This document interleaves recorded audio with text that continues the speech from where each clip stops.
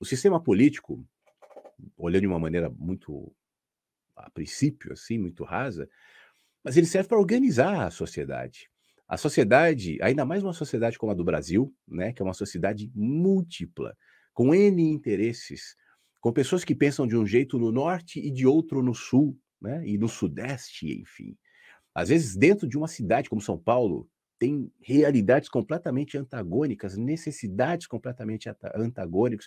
Então, como é que a gente vai organizar tudo isso se não for por um sistema chamado de político? Porque, na minha opinião, Beto, política é a nossa relação com a sociedade, a nossa relação com as cidades, a relação com as pessoas. Isso é política. O que eu faço aqui é política, né?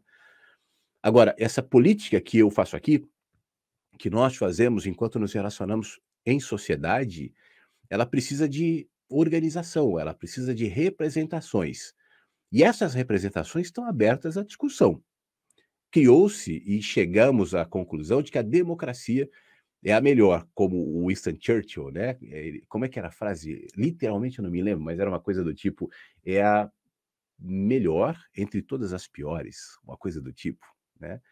Por que, que é a melhor entre as piores? Porque nós já vimos regimes autocráticos, regimes tirânicos, regimes teocráticos, né, baseados em crenças religiosas, e o saldo para a humanidade, olhando pela história, não é dos melhores. Né? O regime democrático, apesar de todos os defeitos, em princípio, ele propõe que as pessoas opinem, que a maioria chegue a consensos a partir de escolhas de representantes. Agora, o problema é que isso foi adulterado. Isso que a gente chama de democracia aqui no nosso país, por exemplo, é uma democracia. Eu acho que deveria se criar um outro nome.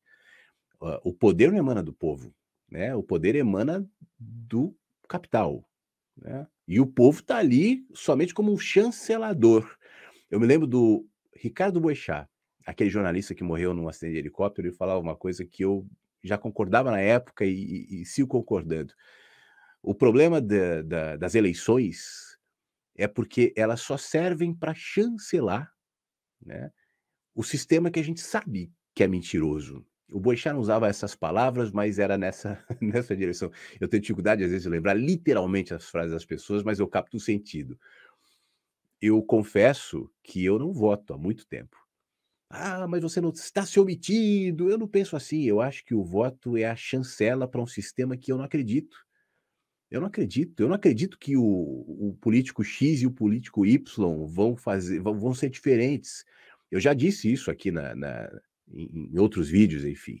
Atualmente, o que eu olho no, no, Brasil, por exemplo, o Bolsonaro e o Lula, que são os caras que estão ali na, no topo, são cortinas de fumaça de um mesmo sistema. Para o sistema, tanto faz, se é um ou outro, tanto é que permitem que os dois estejam ali, fazendo o povo acreditar que quem se coloca de um lado ou de outro está defendendo o mundo, a vida, para uns defendendo Deus, para outros defendendo a democracia, mas no fim das contas defendendo o mesmo sistema. É bom para a gente a sensação de que a gente está brigando por uma verdade, eu estou contra o fascismo, eu estou impedindo o comunismo de entrar. É, isso alimenta as torcidas, gera os tais engajamentos, mas no fim das contas produzem os mesmos resultados. É só olhar para a política para saber disso.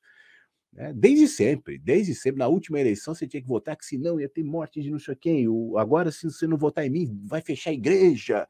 É sempre o medo. Né? E eu me recuso a, a me movimentar nessa energia, na energia do medo. Agora, isso não é o sistema político. Isso é a degradação daquilo que inicialmente deveria ser o sistema político. Isso que a gente vê é outra coisa. Então, abominar a política é ficar vendido, né? Porque pessoalmente eu não vejo outra maneira da gente organizar a nossa sociedade a não ser pela política. De que forma? Já que você descrê daquilo que hoje nós chamamos de sistema político, alguém pode me perguntar. Eu acho que é, a melhor maneira de fazer política, é isso que eu faço, é tratar os indivíduos e a trabalhar nas consciências. Alguns poderiam chamar isso de educação. Educação não é prédio só. Né? Não é uma escola só. Aprender, aula, não é sentar num ambiente fechado com alguém numa lousa só. É mais amplo do que isso.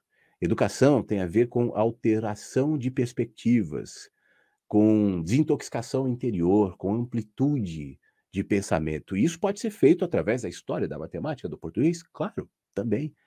Mas também a partir de um olhar mais claro. O próprio jornalismo poderia contribuir nesse sentido, a própria política poderia contribuir nesse sentido, mas obviamente que a política não interessa, né? Então, eu sigo trabalhando politicamente, eu não sou um descrente da política, eu não abri mão de nada, eu só trabalho por outro viés. É, essa coisa de se engajar na direita, na esquerda, naquilo que a gente chama de direita e de esquerda, de aderir a um Deus, né, chamado de presidente, seja lá quem for esse Deus, o brasileiro está muito tempo em busca desses Deus, desse mito. Por isso encontraram um agora, né, que chama de mito, tal. Ocupou um espaço que já era é, vazio ali e, e, e, fonte de muita procura da maioria dos brasileiros. Né? E quanto mais a gente alimenta isso, eu defendo esse, eu defendo aquele tal, hum, pior vai ficar esse sistema. E se você discorda de mim, só olha para a realidade, né? Só olha e responda: como é que a gente chegou aqui? Como é que a gente chegou nesse ponto? Fazendo a mesma coisa vai melhorar? Essa é a minha questão.